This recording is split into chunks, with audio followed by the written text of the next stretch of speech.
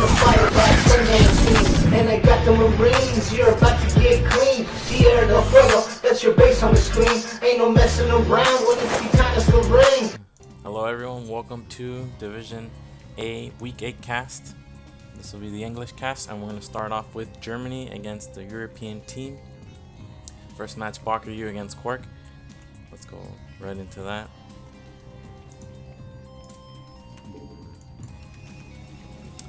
In the top left spawn, as the Magenta Protoss, we have Ash Quark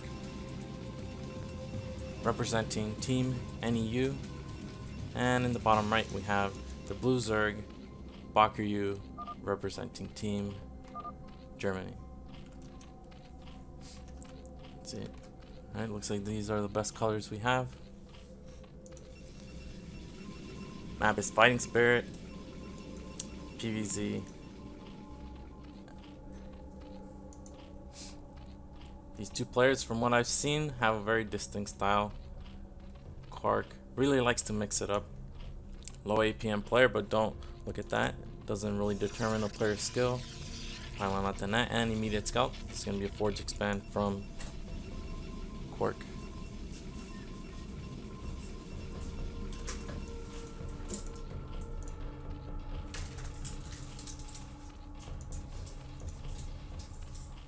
Waiting to see if Baki goes for pool.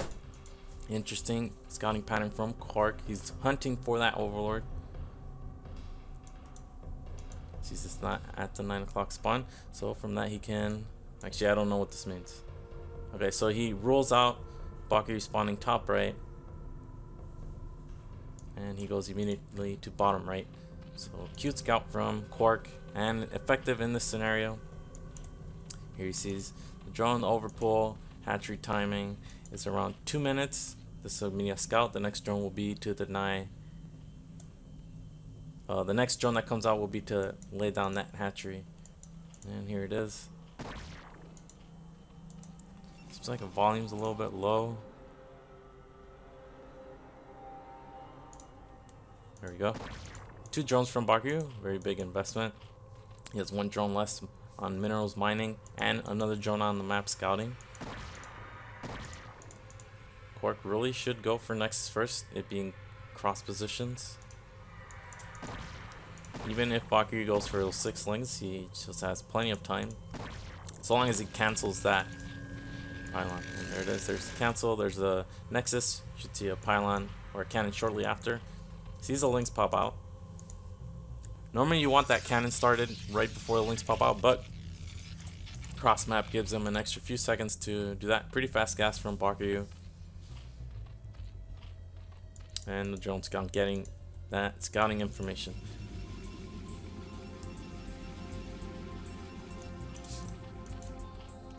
Very annoying for Zerg to take this. It makes the uh, drone transfers less effective just because they take several seconds longer to start mining.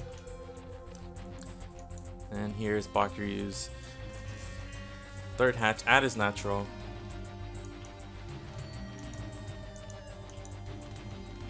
Now he's gonna be actually short on minerals. I think his gas was just a little bit too fast.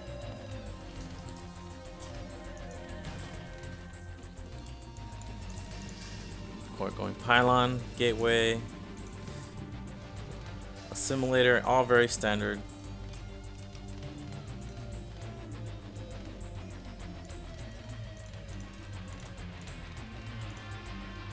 And there's a layer from Bakuryu.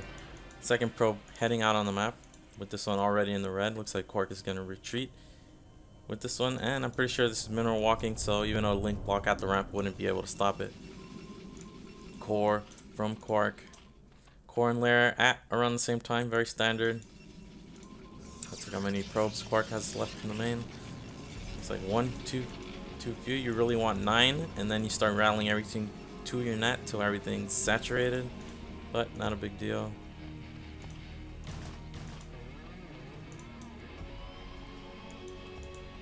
Zergling speed from Bakuryu. Everything, everything cookie cutter standard. And there's a Stargate. One Overlord going into the main and Bakuryu leaving, or looks like he was leaving a Ling at the front. Gotta see when Zealots start moving out. And looks like Quark is actually playing extremely greedy. Fast second gas. No Zealots at all. And he's immediately going for a Dragoon to kill off that Overlord. So he really wants to mask his strategy. Doesn't want to reveal anything. But this is already unorthodox. This Citadel timing is pretty fast. And going Dragoon first without any Zealots whatsoever. He's really cutting corners here.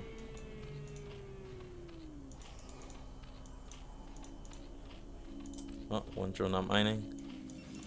And there's that second gateway, also pretty fast. Walker's gonna see this, of course. But, all in all, this looks pretty normal, except for this fast Citadel timing. No plus one air, and there's that archive, so really fast archives from Quark.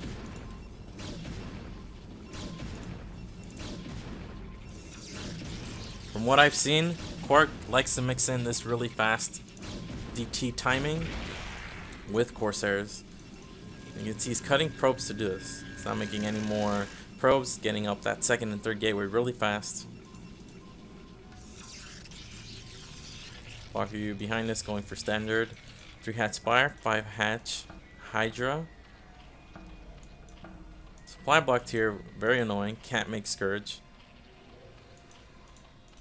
There's a evolution chamber and the Hydra Den. Very nice SimCity at the natural. this position is a little bit awkward to SimCity. This could also be an evolution chamber and it would effectively block as well.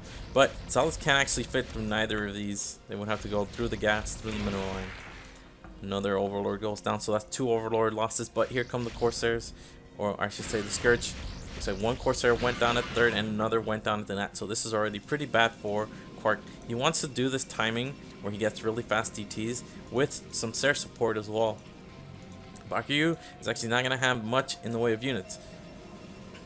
With the DT opener at around 7 minutes, there's a DT at your bases, but this is so many more DTs.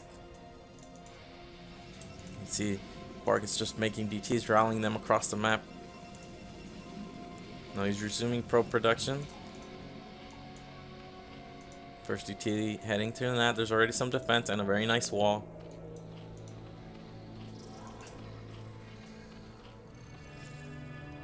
Mark, you're not playing greedy, not over droning. Comes another Goon Sair. This is another Overlord that's gonna go down. The real threat here are these DTs. Imagine this position if there were three Corsairs in the air, not just one. This is already doing a ton of damage. Lots of Hydras going down. Lings, drones now being targeted by these DTs. Baku completely caught off guard by this kind of attack. This is 4 DTs and there's no detection at all. It's like one Overlord just barely pops out. In time. DTs are in the red. What is Baku doing? He's not targeting. Overlord speed finishes. But the DTs are going to town. This is more DTs coming. What is this? Even more DTs being made.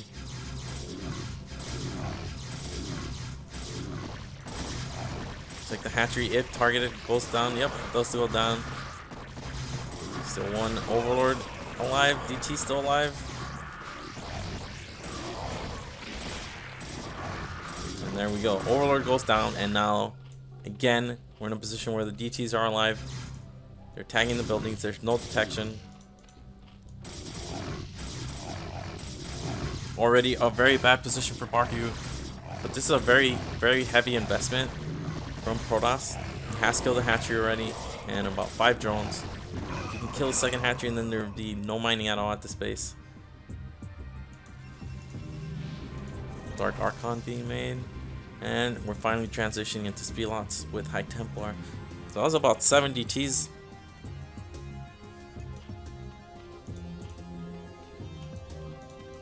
Baku mining on the left side of this base. You can probably mine four or five patches just fine. Making some Scourge. Here comes a Hydra counter pressure. Another Overlord might be killed. We do have some Scourge out on the map. Not that many Hydras since Baku is droning up here. But he has to be careful not to over drone in this scenario. What he really needs is that fifth hatch to be made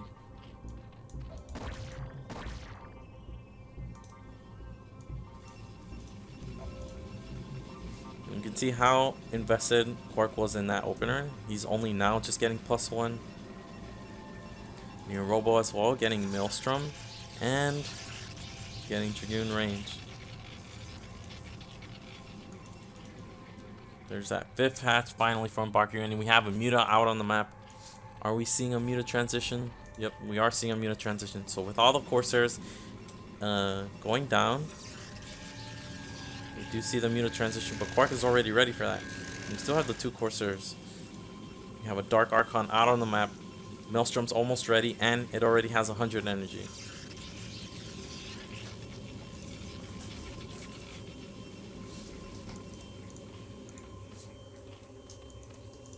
Hydras with plus one. No plus two on the way quite yet. Range just started now. Wagyu has really been hurt by that opening. Very, very clever build from Quark. Catches a lot of Zerg players off guard. Not the kind of build that's reliable. You see it once, you know how to respond, but it can really catch unsuspecting Zergs off guard.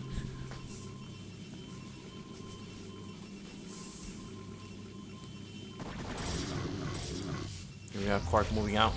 Uses a Maelstrom now. I don't know about this. Only gets three Hydras and an Overlord and reveals the Dark Archon. So now Bargy's gonna be running around with his Mutalisk. He's actually countering in the main. There's nothing here. No anti-air at all. A couple Dragoons pop out, but there's no cannons. No Corsairs. Corsairs in the middle map. The Dark Archon way out of position. Can't defend. And starting to lose a ton of probes. Bargy preparing for the counterattack. If he goes to the third, Bargy's very well defended. If he goes to the natural, he'll be in big trouble. looks like Quark, unfortunately for him, is going to go into the third. It's being fortified now. There's a ton of Hydras. Not that much Storm. Actually, never mind. These High Templars haven't used any Storm at all. Just been gathering energy. Nice Storm there. These Hydras are very clumped up. And bit of a whiff on that second Storm. He still has a lot more in the bank. Mutas are coming back. Unfortunately, where did the Dark Archon go? Looks like the Dark Archon retreated. Doesn't have enough energy anyway. And all the High Templars have gone down. It's only a few Dragoons. This Archon is about to finish. Baku targeting it with these Hydras. And Baku is actually able to defend. He did lose a ton of drones. You can see he only has two left at this base. And there's plus two. Another hatchery goes down for Barky. So now Quark, he actually didn't manage to set up any anti-air defense. You see his mineral lines are very exposed. He does have the Archon, Dark Archon back with 100 energy. We could see another Maelstrom.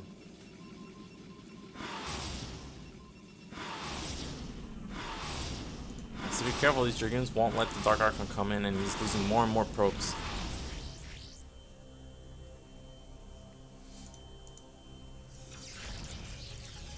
Still only 4 hatcheries, but 4 hatchery, still a ton of production for Zerg. Ideally, you want more, five or six at this point, at least six to be honest. But with these mutants counterattacking, they're doing a ton of economic damage to Quark. And here we go. There's the Maelstrom. The mutants are clumped up. There's only two Corsairs. There isn't Storm. And the Maelstrom runs out, and the mutants are able to escape, escape, but only six, much less threatening than the 11.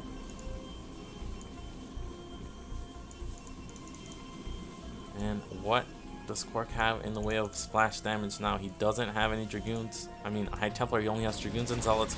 It's a lot of Hydras from Baku. Baku didn't drone up. He's staying on that on 4 hatch production. Trying to find a window here where he can do some damage to Quark. See the Muta's countering again. Quark frustrated with his unit AI and killing one of his front gateways. Uh, this is fine to be honest because he's not going to have the economy to support that anytime soon.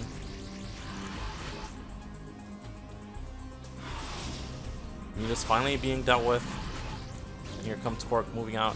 There's a ton of Hydras, but I think we have enough, enough Dragoons. Nope, looks like more Hydras show up for Barku.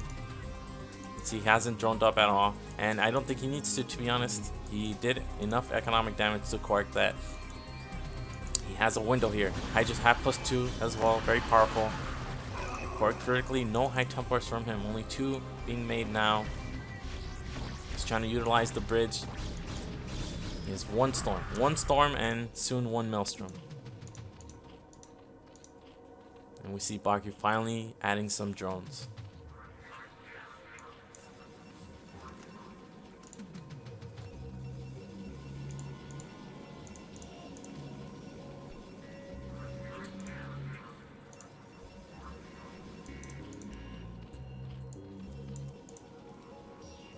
Very threatening Hydra mass here.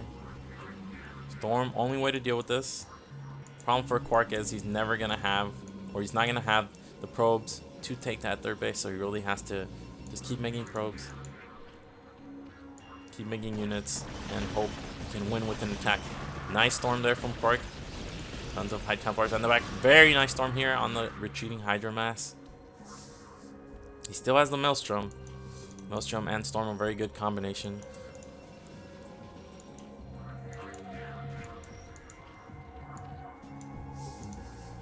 Plus two finishing for him as well.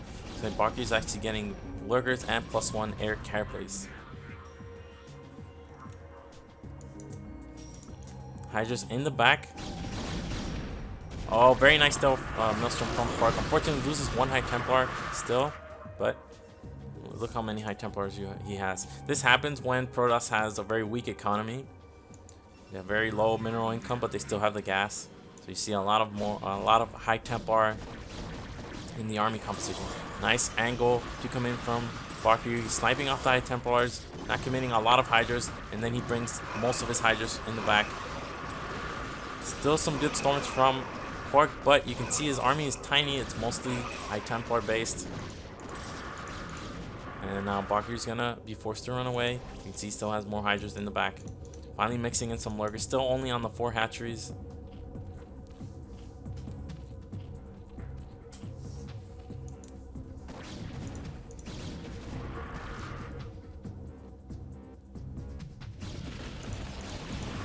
Observers here with this army. Are there any in production for Quark? Looks like no. He's just busy retreating, trying to save this very small army. It's very hard for him to rebuild with such low probe count. Fifth hatch finally being added for Baku. And there goes down the army of Quark. What does he have in the back? He still has some units. You can see he can barely afford to produce. Baku scouting, there's no third base. And with the Dark Archon gone now, actually this is a ton of lurkers. I'm surprised he's making this many lurkers. I really thought he would transition back into mutas, but this is 11 lurkers in production.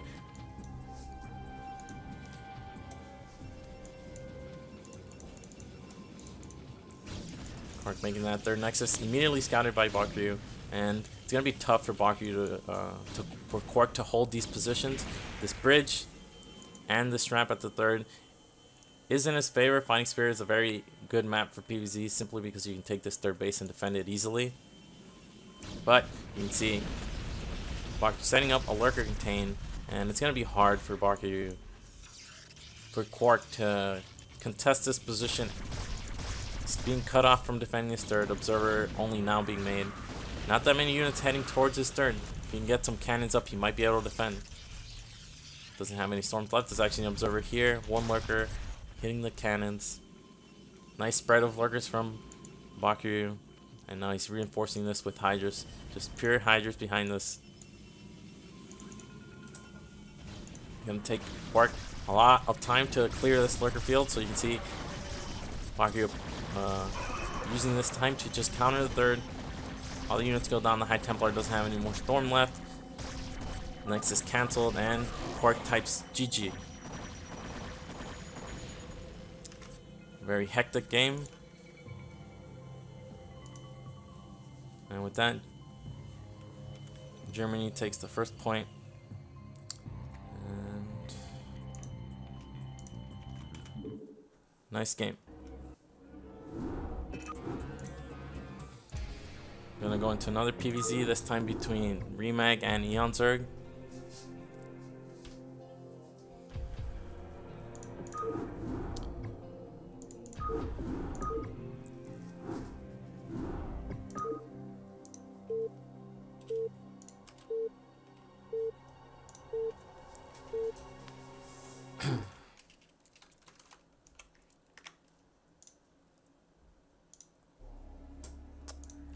map is Neo Sylphid.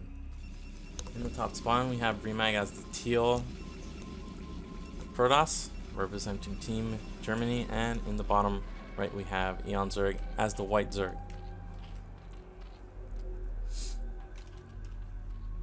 Alright, let's change the score. First point went to Team Germany.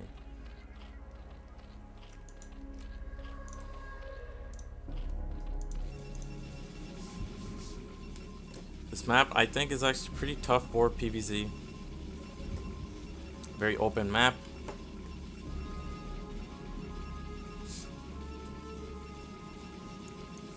Tons of bases for Zerg to take. And any map where there are mineral onlys always seem to favor the Zerg.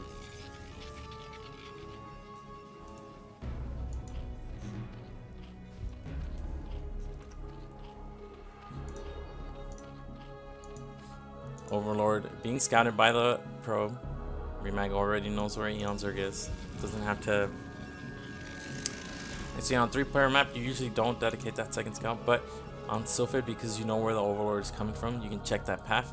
And if he gets here and doesn't see it, he can just head towards the other base.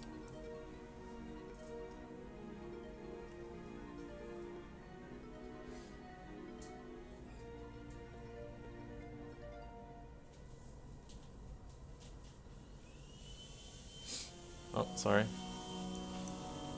Overpull from Eon Zerg. And there's a forge from Remag. Delayed forge, perfectly fine. He'll be able to go 13 Nexus cannon in this position. Reason why Zergs go for that overpull is because they get the perfect ling uh, timing so that if Protoss wants to go Nexus first, they actually have to probe cut. You can see Remag is not probe cutting here, so he's not going to be able to go for Nexus first. He's blocking. So a little bit of a trade-off here. You annoy the Zerg, but you also hurt your own economy slightly. He's going to be forced to go cannon first, but this is still perfectly fine. See Eon Zerg making only two lings. There's the pylon cancel, and Eon Zerg just took his third first.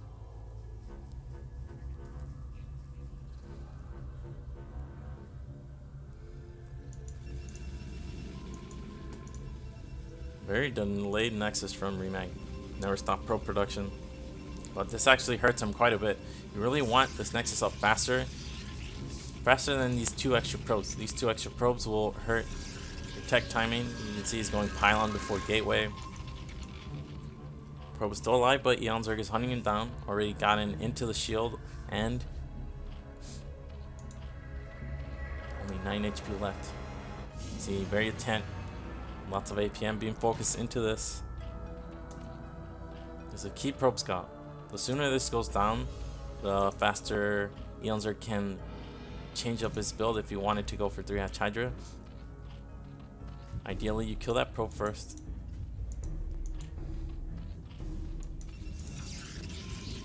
Another pylon for Remag, and I don't understand this pylon. The Nexus is going to give him supply, so it's a pretty fast third pylon in PvZ.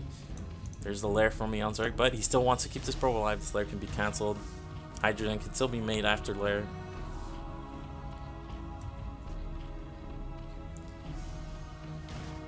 Oh, and the probe almost goes down there. Looks like Eon Zerg can two hits away, one hit away.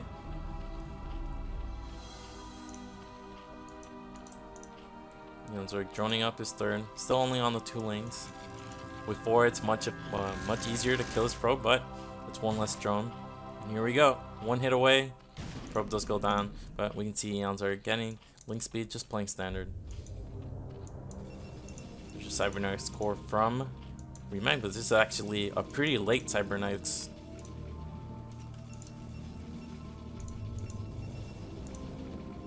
Again, Remag's opening build was kind of all over the place.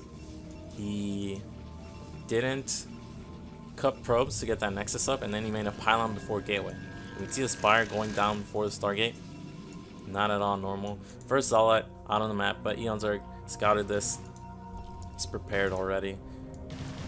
Looks like Remag was just trying to sacrifice that Zealot to get the probe in the main, but not able to accomplish that either. He wants to get in this position right behind the mineral line, but Eon Zerg, very experienced player, has probably faced this, I don't know, maybe a hundred times on this map And that Zealot goes down without killing anything. And only 8 Inklings from Eon Zerg made. Second cannon, as his wall is now vulnerable. Stargate and Citadel. Second gas a little bit late. Fourth hatch from Eon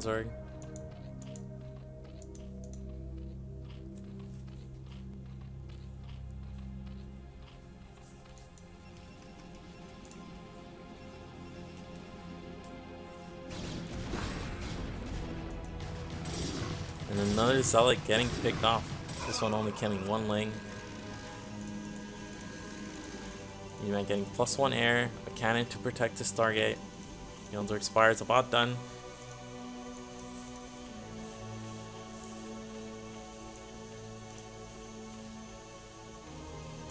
And there's a fifth hatch and the Hydra Den. Should see that evolution chamber shortly after. Second gas and even more drones from Eon Zerg. He's gotten two zealots for free basically, so he's in a very comfortable position. You can see him somewhat hiding the overlords. Usually do this so you don't lose any uh, overlords. Scourge just aren't in time unless you hide them like this, but because he had a pretty delayed Stargate with respect to the Spire timing, look how easily Eon is able to deflect the first Corsair. There's the Evolution Chamber. Hydra Speed is on the way. First Hydra's in production.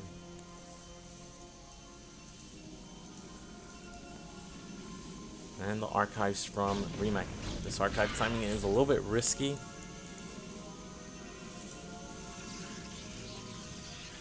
He's got to be careful here. Eon gaining that full scouting information on. He sees the archives timing. And he's able to punish this. No plus one quite yet for these Hydras. Overlord speed is on the way.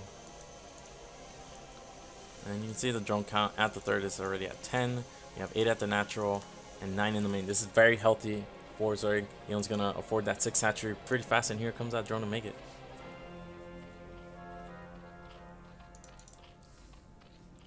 He's forgotten this plus 1. It's pretty important.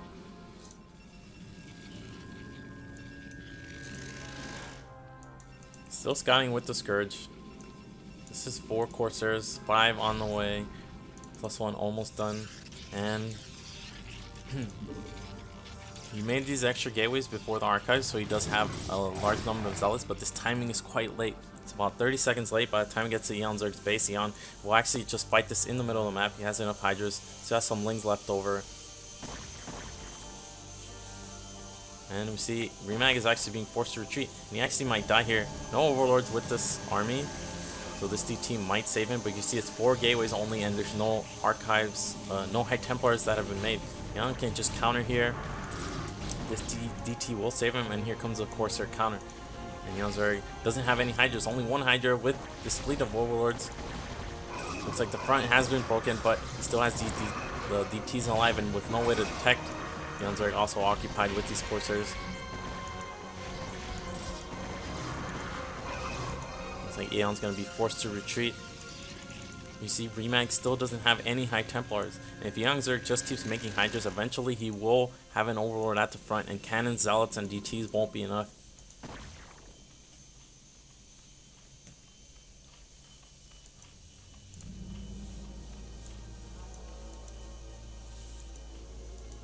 Another Overlord here for the picking if you Remag notices it.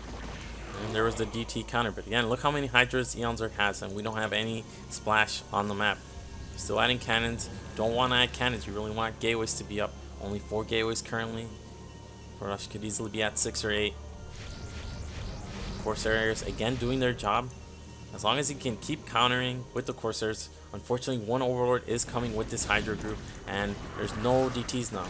No DTs and no High Templars, and it's just too many Hydras. Zerg, even without plus one, just easily gonna break. One DT's coming in here. Goes down, only takes out one Hydra. Now it's only cannons, probes, and zealots. And while Eon Zerg is actually supply blocked, he has plenty of Hydras, enough to kill the front. And no GG. And that's a point for the European team, so we'll be at 1-1.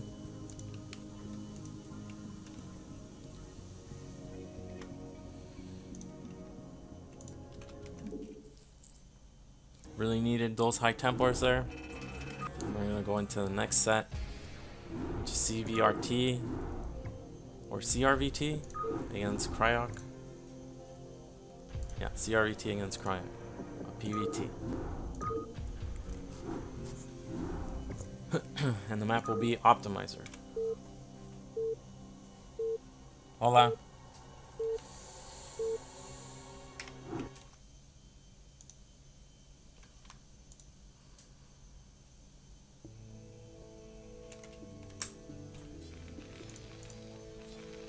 And in the top left, we have Red Crack representing Team Germany.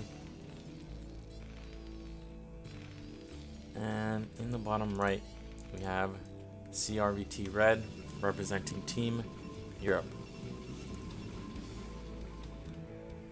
That's the Protoss. Map is Optimizer. You have these double gas in the main. I guess the most unique thing of this map is the double gas, but also this hidden, or I should say back base, that's only accessible once these natural minerals are mined out. Only 250 per patch. Cross map, I guess it's not that, uh, it doesn't affect the matchup as much. If there were hars or vertical spawns, then it would. Get another avenue to attack your opponent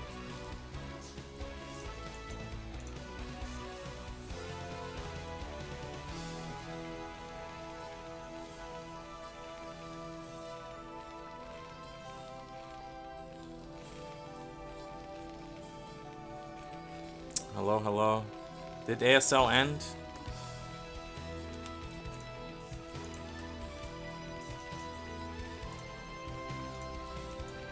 Nice Sim City from Cryok.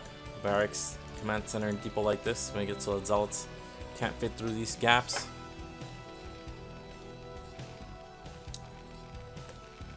From from me, from where?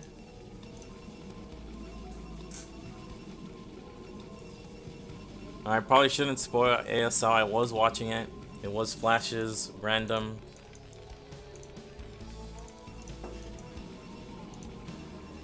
Gateway and gas from CRVT. Both players taking the gas that's on top because it has 4,000 as opposed to the 1,000 gas at the bottom.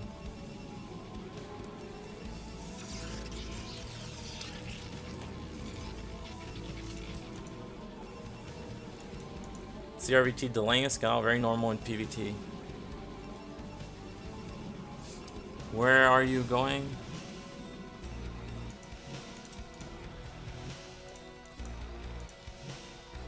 Marine being made from Cryok.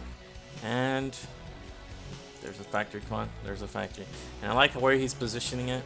You want it close to your Sim City in case zealots do come. CRVT actually going for range first, even for Dragoon, and he's already pulled off gas. A little bit curious. This is quite a risk, but Terrans don't often go for fast attacks. They just prioritize getting that command center up. Are we even going to see a Dragoon being made? Looks like nope, just immediately Nexus first. Before any Dragoons, just getting that fast range.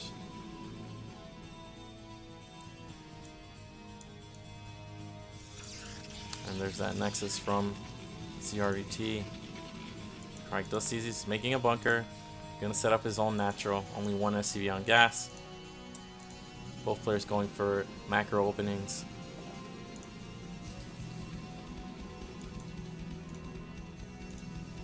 Oh, going back to the UK.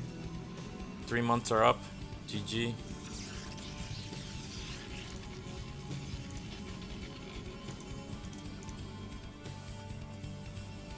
So, curious build from CRVT, but I like it. You get that Nexus up really fast, and you still have your Dragoon range timing unharassed. Hello, Caster Muse.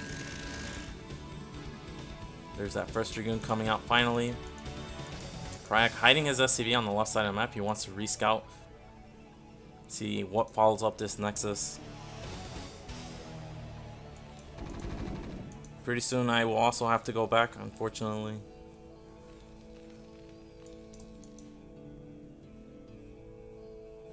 There goes out that SCV. He's gonna go back. Wants to really scout. Wants to get in and see the robo timing if there's a citadel, how many gateways are up.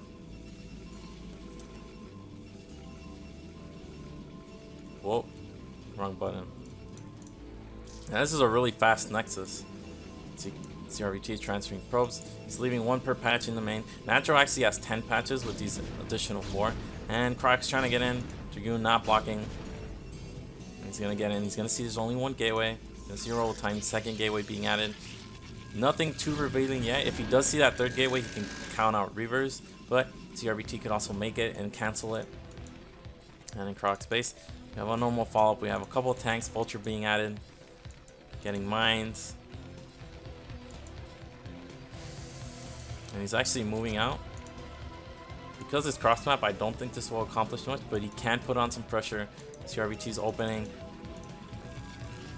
Had him cutting goons at several moments.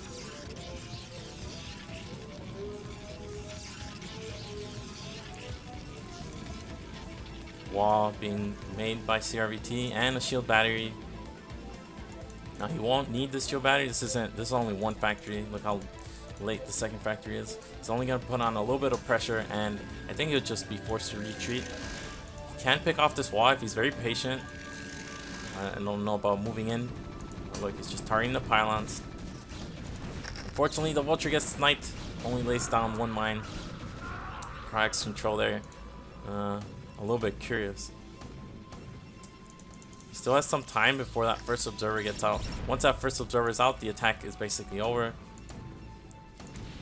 Manages to snipe off that shield battery. I guess if he can kill one of these pylons, it'll be a net win, but really shouldn't be expecting to accomplish much with this kind of attack, but he's staying too long. Observer is out. He's not retreating. The tanks are staying at the front. He can lay mines buy these tanks some time, but he really has to go now. Should sacrifice these marines as well. Really important not to lose any tanks. This is 3 gateway production, and based on the goon count, I think Cryok knows that. He should be able to count, count out Reavers he does have the eBay already, but he saw the Dragoon count. He really shouldn't make any turrets. Zero turrets are required here. He knows it's not Reaver, at least initially. And looks like CRVT is going to take one of these uh, Nexuses in the back. How did he get this Pro War? I guess he just glitched it. He's already getting second gas. The reason why you get that second gas at the natural is the natural has 5,000 gas. This this gas here only has 1,000. He could trick this. I, can you do this? Can you lay a mine right there and trick it through? I've never seen it done. I'm sure it's possible, but the amount of APM it would require. Two add-ons from Korak. He's gonna need a lot of tanks to be produced. He didn't lose any of his uh, initial tanks, which is important. All in all, I think uh, CRVT is in a comfortable position. He's adding that shuttle, but this is only for Zealots. Is kind of like, well, that's actually, why does he have so many zealots? Double forge going down. Usually you get one shuttle and you add four zealots and it'll allow you to zealot bomb, break pushes easier. Just get general damage done. Really only want dragoons until zealots have speed and zealot speed isn't a priority in PvT.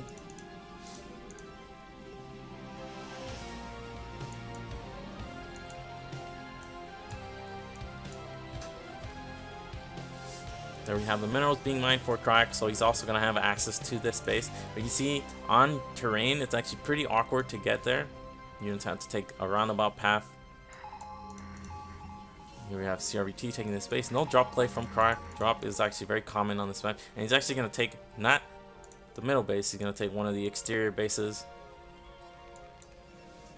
Crack already saturating his third base. He's getting plus one armor and weapons. Citadel done, and he's getting an archive, so no fast arbiter from him. Just gonna stay on gateway units.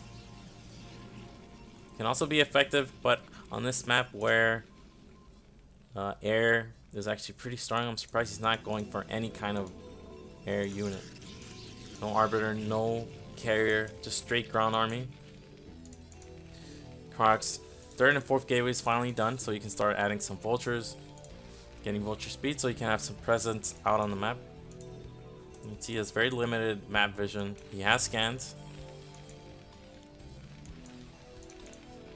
against this kind of style, there's really no pressure on Cryok to attack. He can just really wait for 2-1 and expand slowly on this map. You'll have access to this pretty hard to defend third base, but the fourth base is right next to it, and eventually you could take this base as well. Cryok is going to need a lot of tanks to defend this third base. Command center done. I'm wondering how CRVT is planning to attack if Cryok ever takes this base. He only has the one shuttle. Does have four Zots, one mine. His two Dragoons. Nice scan to snipe off that observer, and here we have Cryok setting up. Spreading out his tanks nicely. Has the Goliaths, the anti-shuttle unit. Really makes uh, Zealot bombs a lot less reliable if there's Goliaths out on the map. And CRVT taking another gas. He's gonna start mixing in High Templars. You see he's getting Storm. If you're really gonna skip Arbiters and Carriers, you need some kind of method to deal with that. Oh, he's going in for the Zealots. He's going for the Zealot Bomb. Trying to find a good angle where the Goliaths can't just target it down. Cryok is wall aware. You can see him moving his Goliaths and Marines. What I was saying earlier is if Protoss elects to not go for any Stargate tech, they still need some way to fight the Terran head on. And the only way to do that, other than with good upgrades which help, but aren't usually the decider, is to get High Templars with Storm. And there's the sh shuttle being targeted. Four Zealots able to run away. They might eat this mine. And CRVT with a fourth base set up. Leaving some Dragoons and Cannons here. This is good against Vultures. Can also wall. Drops are very good on this map. Still surprised Cryok hasn't gone for any. You can see you could drop here, here. Dragoons will be able to range tanks, but with the high ground miss chance, drops are very, very effective. Weapons 2 starred for Cryok. Still no armor quite yet. Actually, this is already... He has the two armies ready, but he's not upgrading them. And he's taking another gas. All these middle base gases only have 3,000. Cryok actually already took the another gas in his main, so he's been on three gas. He's gonna be on four gas soon, but as soon as he gets this one set up, the one in his main will run out. CRVT has a large army advantage and these tanks are unprotected. There's no vultures, no mines in the way. Zealots are going to be able to get right up on top of these tanks. Vultures are coming in just a little bit too late. Not that many Dragoons from CRVT. You can see it's only 7, 8 Dragoons and it's mostly Zealots. But the Zealots do allow uh, the Protoss to engage a large number of tanks. You see most of the tanks have gone down. And even though I think Cryok is just barely going to hold, this is actually a very good trade for him. He's able to trade Zealots for tanks. He does have more production than Terran. He actually has a small upgrade advantage here. Let's see. Still more Zealots being made. I think it was CRVT against Koget where I saw a similar kind of attack. It was only about one control group of Dragoons and the rest Zealots, and the Zealots were just able to get right up on the tanks and then trade efficiently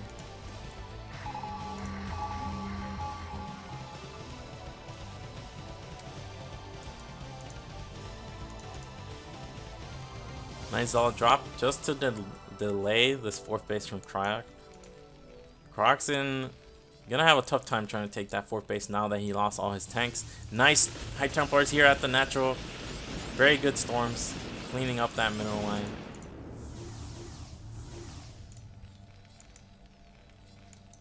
So really just maneuvers to slow down the Terran as CRVT takes more of the map.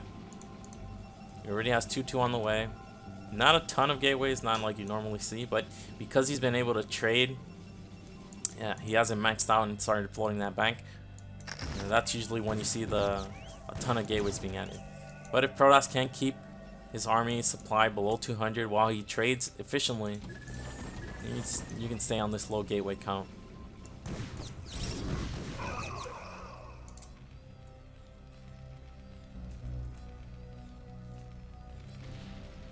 Something died there. I don't know what. Maybe the barracks. We have EMP being researched, but the EMP is only going to be utilized against shuttles with, oh, I mean High Templars, but if the High Templars in the shuttle, all of a sudden you can't EMP them. Here we have CRVT coming in. He actually led with the Dragoons, not the best choice. It looks like he just has too many uh, Zealots. See, storming the tanks. Very effective storm. There was a D-Matrix there, but all the tanks have been wiped out yet again. There's only two tanks here. I think there's four tanks at his third. But just too many ground units for CRVT. It's getting right on top of the tanks again. And Croc's in a tough position here.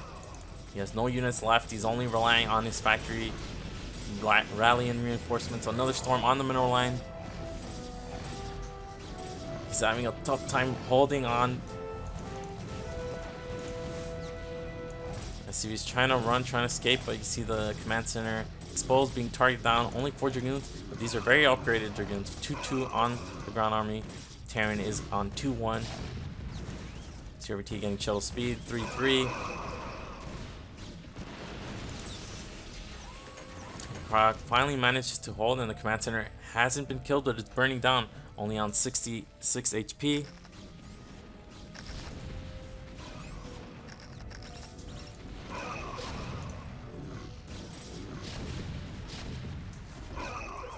Alright, does have this final, uh, this fourth base finally set up.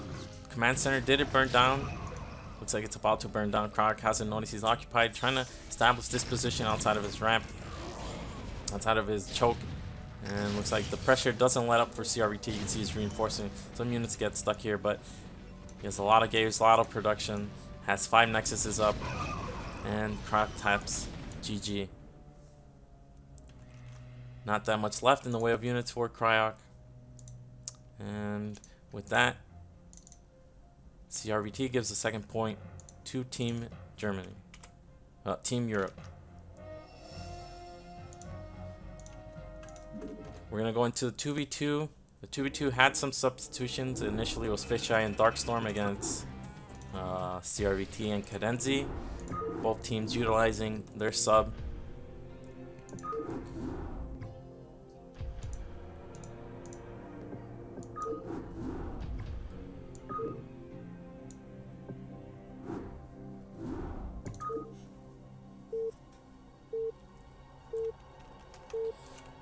Let's go into that 2v2.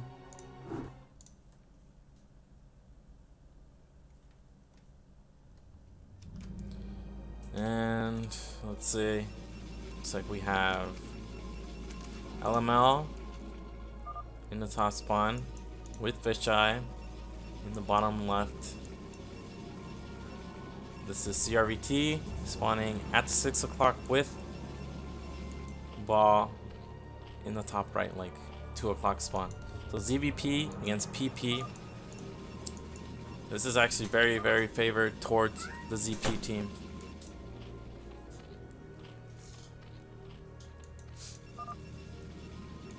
Not really sure what they're saying, but basically, uh, CRVT has the freedom to do whatever he wants. Alternative, uh, alternatively, he could just go two gate and then uh, Ball can do whatever he wants. Like Ball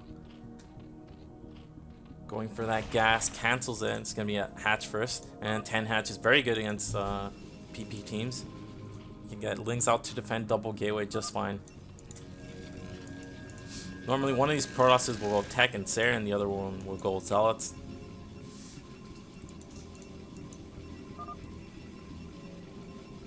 Pylon Scout from Fisheye. There's a gateway from CRVT, gateway from LML. And 10 hatch at the ramp from ball. This is actually a bit curious. You can get that expansion anyway. Even with double, if, even if both Protoss went for double gateway, 10 hatch can defend just fine. Especially if CRVT also goes for double gateway.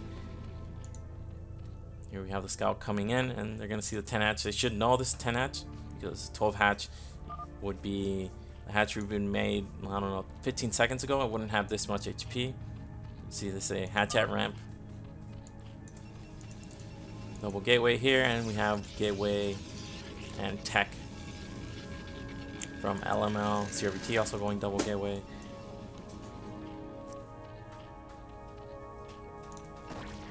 No pool from, uh, I mean, no gas from Ball.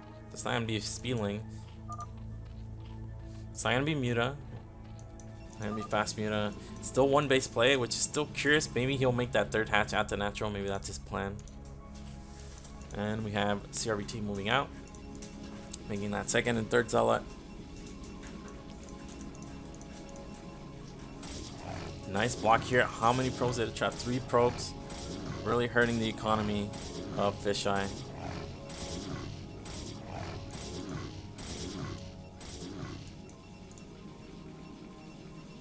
A little bit curious as to what LML is doing. He sees floating minerals. No Stargate being made. And here comes the first eight Zerglings from Ba. There's Stargate being slightly heading away from the Overlord. CRVT is just making more Zealots. He's in Fisheye's main, but he can't really do much. Fisheye also has double gateway, but here come the eight Zerglings from Ba, and they know LML can't really reinforce and help out because he's only on the one gateway. He's taking up quickly. Fisheye, no battery. Saying help, help. He has three Zealots against three Zealots, but also eight Lings.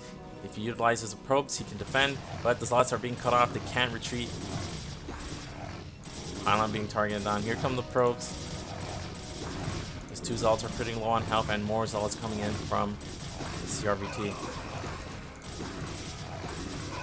So Pylon just goes down, but targeting the Pylon actually allowed Fisheye to defend.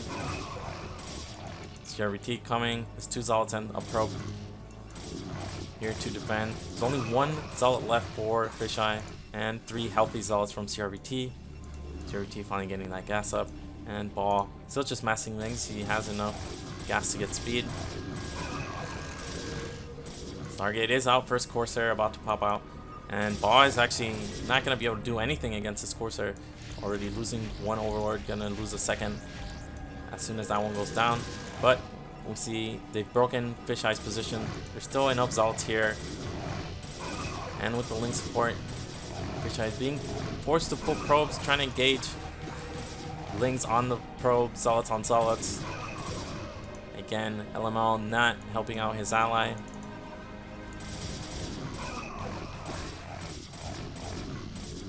This could have been defended with cannons, but again, the key here was that uh, CRVT with that pylon distracted Fisheye away from the ramp. He had to keep units attacking it. That first zealot allowed was allowed into the main, and as soon as that zealot was being chased, the ramp was left undefended. See, Fisheye and Baw have very low uh, economies, but Baw can recover much more easily. LML not going to be able to kill any player. And Fisheye is dead.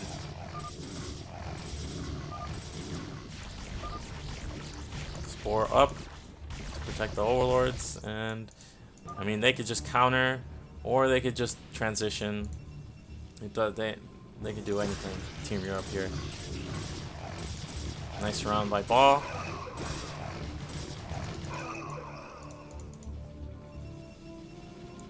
CRVT coming in with five Zealots.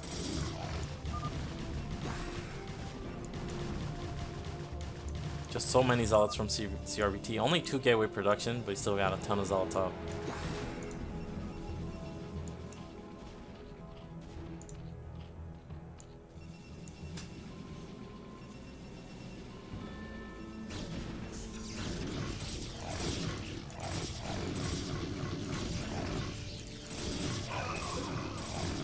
Transition into Archives. What DT is a very natural combination, but Zerg has the Overlords to support his ally with detection. And there's the GG, and Team Europe takes another set. So now we're at 3-1, and let's just put on the matchups. Ziki didn't play LML. He actually forgot.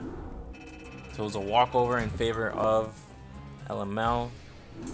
Team Germany's going to get that point, so it's actually 2-3. And we're going to go into the last match on screen, which is Cadenzi against Rada Radata Tang. If Radata Tang wins, then we'll have an ace. Otherwise, It's the last set.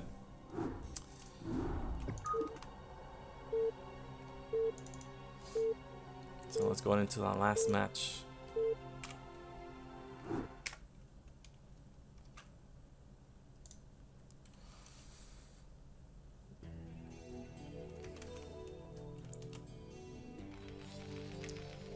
Alright. In the top right, we have the blue Terran Ratatatang representing Team Europe, Germany, whoops. And in the bottom left, we have White Zerg Cadenzi, now representing Team Europe. ZVT map is Eclipse. Ratatatang, I'm not familiar with him, haven't seen him play. Comes Owlord heading out. Two player map, so they know where they are. Have to be a little bit careful with his Overlord scouts sometimes in ZVT if Terran goes for ARAX. The pathing you take is very important to protect the Overlord.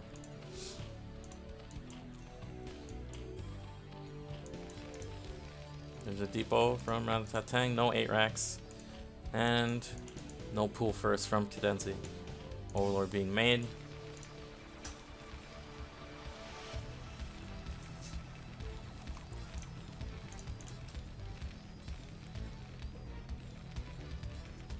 Waiting to see what Cadenzi does. It's likely going to be a 12 hatch, but you never know. Can still see some 11 pools, 12 pools.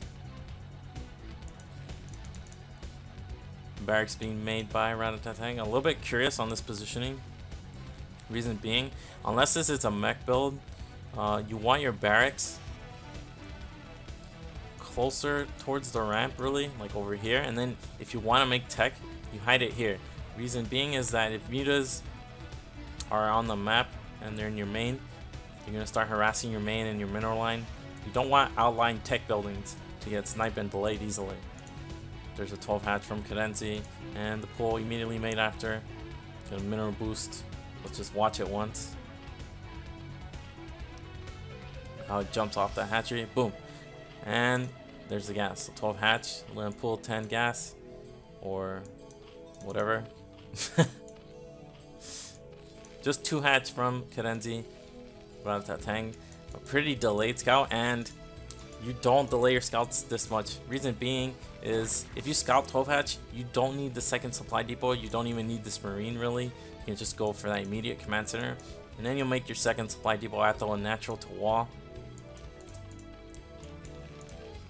You can see this is going to delay his command center a little bit, and you really want to cut corners in this game in StarCraft in the early game. Trying to get an advantage where you can and not going for that 15 command center, delaying it a little bit. You have these extra marines, but this does slow down everything else basically. It slows down your gas timing, slows down your second uh, barracks timing. Now, maybe he's not going to go for that uh, 2 racks, but because it's 2 hatch, it's very unlikely we'll see 5, uh, five racks plus 1 so making non-stop marines doesn't really help the Terran. There's the SCV scouting that is 2 hatch lair. Cadenzi making 4 lings. And immediately going out to counter with them. Overlord at the natural getting that full scouting information. You can see the path Cadenzi took. There's that second Overlord. Very nicely placed. And we have Ratatatang doing a move out. But just moving on a little bit. It's four Marines against four Zerglings. Five Marines now. Easily will be able to defend. There's that second barracks room. We're at from Ratatang supply block here. Very painful supply block actually. Depot just finishes. There's a transfer towards that. Spire about done. No den in sight, so it's going to be two hatch lair. And we have more more lings being made by Cadenzi. There's a bunker going down. Speed is about done, and there's this spire going down into natural. And look at the Zerg economy after all those lings have been made. Has to wait for speed to finish. It's going to be 8 lings with 4 more on the way. And actually even more lings being made. And that supply block by Ratatatang is actually going to hurt him a lot. Also no depot here to wall. So he has been exposed to this kind of play, and Cadenzi, with that scouting information, knows this. SCV's still alive and he did scout more lings, but he's not prepared at all. It's like one SCV is coming out and it's gonna make a depot, I think. Nope, just going out to scout. Sees a ton of lings. Let's see his reaction timing. Lings are gonna go and surround that bunker immediately. SCV's not repairing really, trying to block the ramp. It's like not a ton of damage by Cadenzi. Did kill off several marines, but you really want to get more damage done with this kind of investment in those Zerglings. Let's look at the economy. We have 10 drones on minerals and 6 on gas. This does allow Zerg to produce non-stop mutas, but this is basically as all-in as it gets. Very hard to transition out of this as Zerg. And they're the first mutas being made. Six mutas right off the bat. And plus one being researched. So this is going to be death by muta or Terran wins because Zerg cannot transition out of this. There we finally have a depot being made as part of the wall. There's the first scanner being added, third barracks, and the factory. Very fast factory, and I'm not really sure if Terran can afford all this. Fourth barracks. First turrets being added, but no turrets at the natural yet, and you really want to add turrets at the natural first, can get here faster. Cadenzi sees this. Only the first turret being added now. Terran is vulnerable now to muta harassment. Here we go. Turret is not going to be up in time. There are some Marines and medics. Stim. Is Stim done? Stim is done, but no range. And that turret, first turret gets targeted and sniped. One Muta does trade its life for one Marine and one turret. Another Marine goes down. Looks like the bunker is unloaded. Needs those extra Marines. Cadenzi just rallying everything to the front. This 16 drone number, you're going to see it's going to stay there. But Terran's SCV count and unit count will start to go down as the mutal mutalisk number grows. We have some nicely placed turrets in the main. when protecting the barracks as well. But then he just runs by, finds a weakening position, uh, an opening here. It's very, very risky to do this. Such a low mutalisk number. Only marines here, no medics. You can see the mutalisk against no medics just fight the marines straight up. Ratatang adding turrets. Wants to make it hard for these mutas to run away. Cadenzi just microing here in the corner. Another SCV goes down. Natural much better defended in this moment. Five mutalisks left. Four mutalisks, more being rallied out the front, but there's no way for Cadenzi to combine. Maybe retreat is the best option here. Oh. Turret shooting the mutas, and I think all these mutas will go down. Only one escapes, but that was still a ton of damage done. We have the starport up already. Is Rattata gonna go into Armory? Armory probably the best bet here. Vessel takes too long. Cannons counting that. There's one fire bat, but it's not in the bunker. Bunker does go down, but not that many units.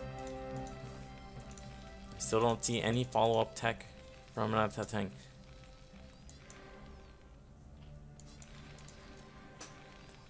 Armory would be the response here. If he's aware, if he's utilizing his scans to see what Cadenzi has. Scan the natural and you see one drone. Really should make that armory. And no, it's going to be a science facility, which is still good, but it's just going to take a lot longer. And until that vessel is out, he's still going to be quite weak. We had a scan going down, don't know where it went. But he's moving out. He's moving out against a Zerg that's committed to Mutalisk. This is very risky. And I think with that move out, that tank just gave away the game.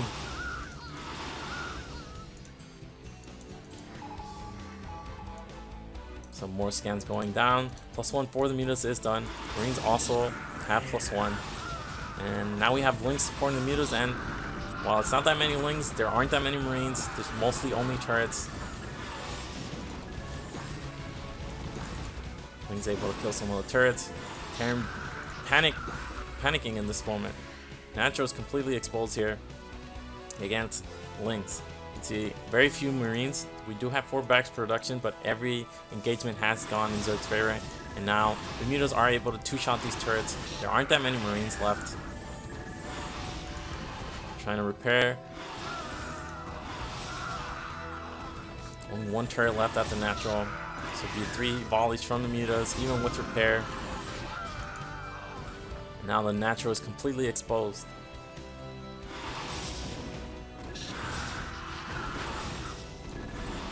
More mutas being rallied across the map.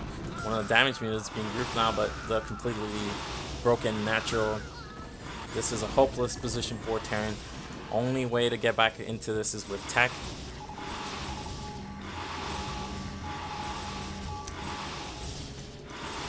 Tons of scans just went off at every base, seeing the Zerg doesn't have a third base. But really, you only need to scan the natural.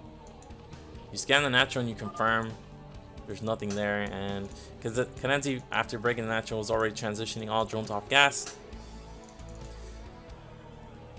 Range wasn't even done for Terran. And with that, Team Europe wins 4-2. Si te gustó este video, no olvides darle like. Y si aún eres nuevo y aún no te suscribes, te invitamos a hacerlo y a darle clic a la campanita. Recuerda que todos los días viernes estaremos subiendo nuevas guías y nuevo material, todo en relación con StarCraft remasterizado. Hasta la próxima amigos.